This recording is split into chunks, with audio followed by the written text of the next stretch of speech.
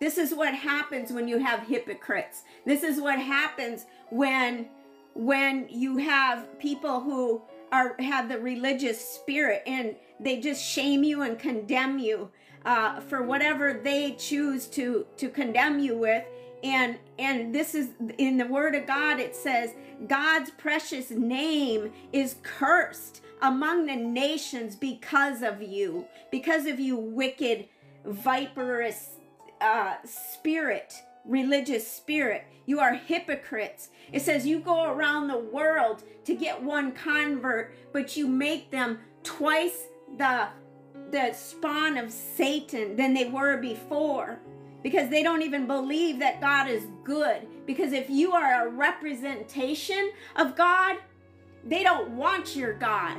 They don't want your Jesus. Because you have misrepresented him. You have not shown the love and the grace and the mercy of God.